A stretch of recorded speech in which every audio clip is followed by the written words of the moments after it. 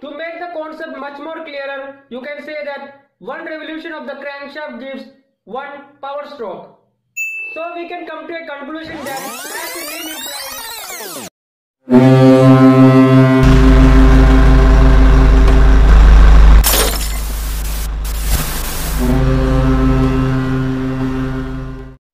Hello my friends, once again welcome back to another episode of Mariner Shiyan. So guys, the topic of today's discussion is two-stroke marine diesel engine. Well, we will be explaining the entire principle of two-stroke engine, the function entire concept of the two-stroke engine. So guys, be with me till the end of this video as this video is going to be very helpful for you guys. So guys, let's not waste any time and move on to our topic, marine two-stroke engine.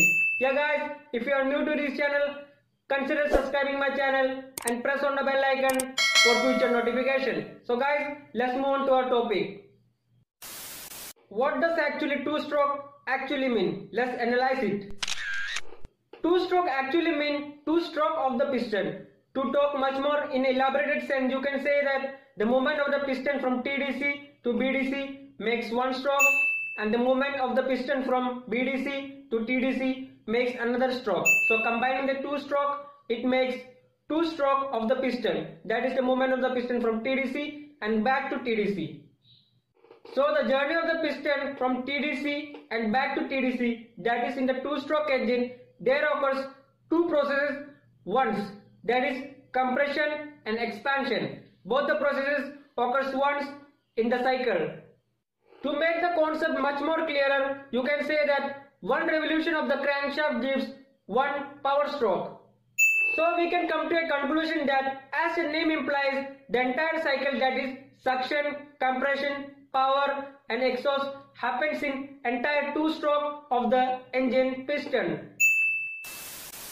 So the actual timing of suction, compression, power and exhaust varies from engine to engine with respect to design and construction features of the engine such as stroke bore ratio, engine rating, engine RPM and the ratio of length of connecting rod to crank length etc. So let's analyze some typical valve timing diagram of two-stroke engine. So as I have told you earlier, the timing may vary from engine to engine based on construction features and design features which I have mentioned earlier. Inlet or scavenge opens at 42 degree before BDC. Inlet or scavenge closes at 42 degree after BDC. Exhaust valve opens at 75 degree before BDC. Exhaust valve closes 60 degree after BDC. Injection start 16 degree before TDC. And last but not the least, injection end 20 degree after TDC. So guys, now let's analyze the two stroke of the engine that is upstroke and downstroke. First of all, we will be explaining the first stroke. Then as the video unfolds, we will be explaining downstroke. Upstroke of the engine that is compression stroke. The scavenge port is uncovered, exhaust valve is closed and pressurized air is fed into the cylinder. The introduction of the fresh air into the cylinder does the scavenging process that is it removes all the exhaust gas from the previous cycle. The introduction of the scavenge air is done by the turbocharger that is boosting of the air via air cooler by increasing the density of the air and improving the thermal efficiency. So basically turbocharger plays a major role in increasing the scavenge air so that it increases the thermal efficiency. The piston then moves upwards that is BDC to TDC. The exhaust valve closes, the scavenge ports are covered and the piston start compressing the air. At the end of the upstroke, that is the movement of the piston from BDC to TDC, the air pressure in the cylinder builds up to 32 to 45 bar and there will be a corresponding rise in temperature as well that is 650 to 800 degrees Celsius. Well, the above mentioned data may vary from engine to engine as per the design feature and construction features.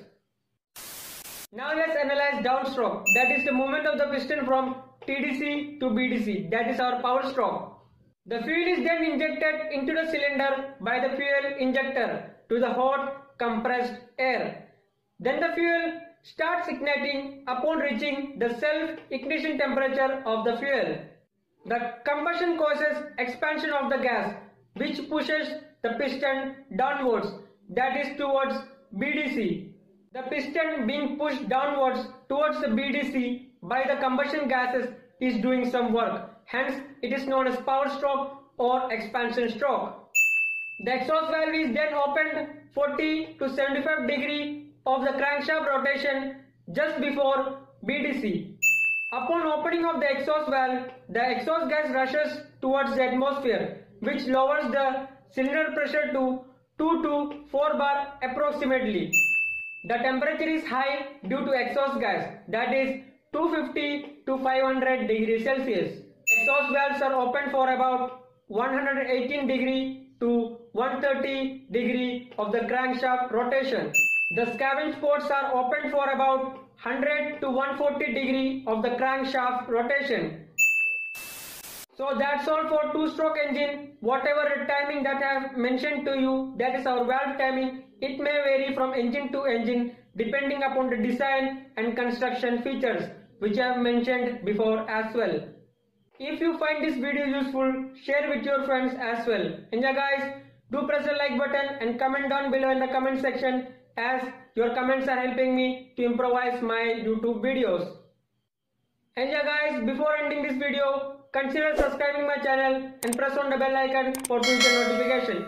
So guys, this is Mariner Shiyan signing off. See you in next much more interesting videos like this. Thank you and have a nice day you